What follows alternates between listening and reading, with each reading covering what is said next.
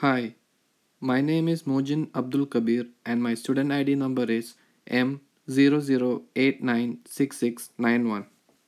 The task for the assignment is to program the industrial robot to trace the path of the letters MDX.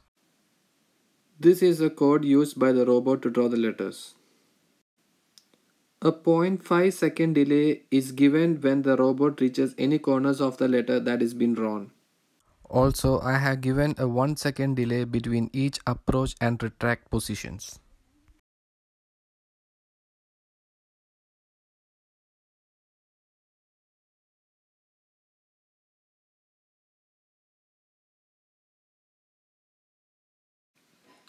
When we start running the main program, a command is given for the robot to go to the home position. After that, a function is first called to draw the border. Then a function is called to draw the letter M. Then the next function is to draw the letter D. And then finally a function is called to draw the letter X. After all the functions are called, a command is given to the robot to go to the home position.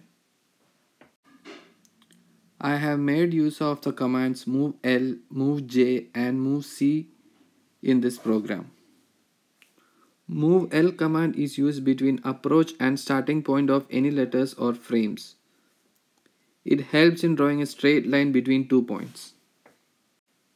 Move J is used for movements between the home position and the approach position, also between the retract and approach positions.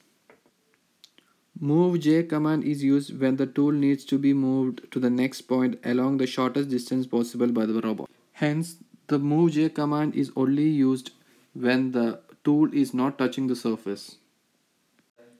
The move C command is used when we need to draw a circle. The letter D makes use of this command. For drawing the wall frame and letters MDX, I have defined only one point set P for reference.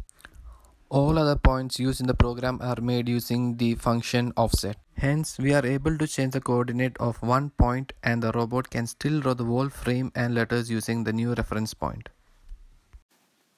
From this simulation video, it can be seen that even though I have only changed the value of set P point, the robot is drawing the frame and the letters with the same measurement as in the previous video. The only difference here is it is drawn from a different starting point.